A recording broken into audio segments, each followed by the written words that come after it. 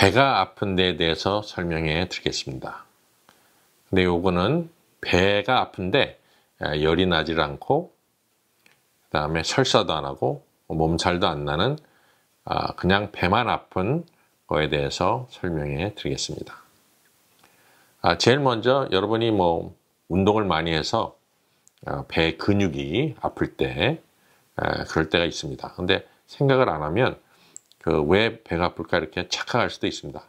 아, 그래서 근육, 어, 근육 운동을 많이 했다든지 골프를 세게 쳤다든지 뭐 엑서사이즈를 어, 운동을 심하게 했다든지 이럴 경우에는 배 근육을 이렇게 만져보면 배 근육이 많이 아픕니다. 아, 그럴 경우는 아 내가 운동을 너무 많이 했구나 이렇게 생각하시고 아, 적당한 운동을 하시면 되겠습니다. 그 다음에 이제 신경성입니다. 아, 제일 먼저 아, 사람들이 체한 거에 대해서 어, 많이 이렇게 고생을 하시는데 아, 갑자기 확 체할 수가 있습니다. 이건 신경성으로 그러니까 스트레스를 받든지 뭐 음식을 이상한 걸 먹었다든지 아, 갑자기 뭐 이상한 냄새를 맡았다든지 이상한 걸 보았다든지 그래갖고 확 체하면 음, 이 위나 소장이나 대장이 하나도 안 움직입니다. 아, 그러면 굉장히 배가 아픕니다. 아, 이런 거는 이제 사실 이제 의사한테 가셔서 아, 안정제나 뭐, 뭐, 손을 딴다든지 뭐 이런 것도 뭐 도움이 되겠지만 뭐 뜨거운 아, 목욕을 한다든지 뭐 사우나 간다든지 뭐 찜질을 한다든지 잠을 좀 주무신다든지 뭐 이러면 좀 나아질 수도 있겠습니다. 아 그리고 또 이제 그 위가 아픈 겁니다. 이 윗배가 쓰리거나 아 막 좀 이상하게 쓰리쓰리하고 아프고 아, 그러면은 이거는 이제 위나 십이장에 염증이 생기든지 궤양이 생긴 겁니다. 아, 여러분께서 아스프린, 뭐 에드빌, 어, 아이비프로펜, 어, 뭐 이런 그 진통제 같은 거 그런 걸 드셨든가, 아, 뭐 약과살스나 아, 뭐 이런 감기약 같은 종류 아, 이런 걸 드셨을 경우에는 에, 위가 헐 수가 있습니다. 아, 그리고 스트레스를 확 받으셨다든지 아, 신경을 너무 많이 뭘 쓴다든지 아, 식사를 제대로 안 하셨다든지 뭐 이럴 경우는 또 위가 탈이 나고 위염이 생기고 위궤양이 생길 수가 있습니다.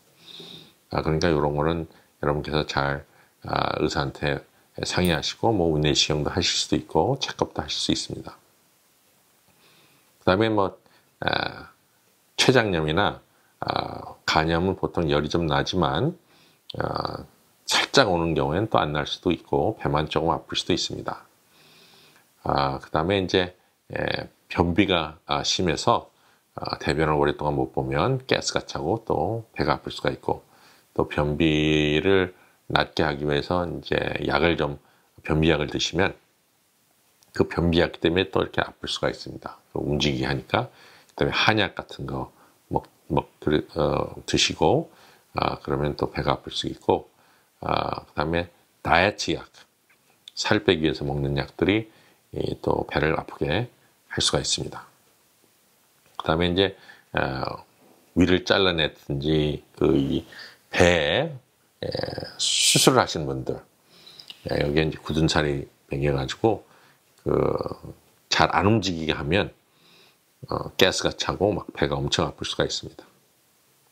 아, 그 다음에 이제 나이가 좀 드시고 이제 에, 동맥 경화증이 오신 분들은 아, 이 배도 그 피순환이 안 되면 배가 엄청 아프고 문제가 생깁니다. 아, 이 모든 기관에는 피하고 산소하고 이렇게 해서 영양분을 이렇게 줘야 되는데 그것을 못할 경우에는 아, 배가 아, 아파집니다.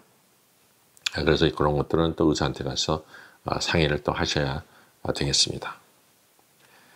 그 다음에 이제 이르트버 바울 신드롬하고 진짜 이건 신경성에서 오는 건데 보통 설사를 하는데 또 안 할 수도 있습니다.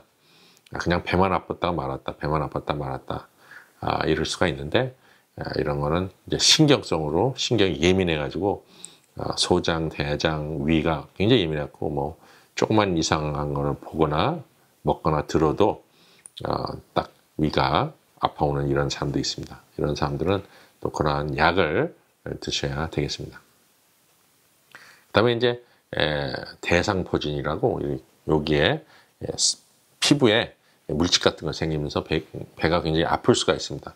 건 대상포진이니까 아, 의사한테 가서 뭐 거기에 맞는 약을 드셔야 되겠습니다. 배 아프고 열이 안 나는 아, 그러한 병 중에서 그 쓸개 돌이 문제가 될 수도 있습니다.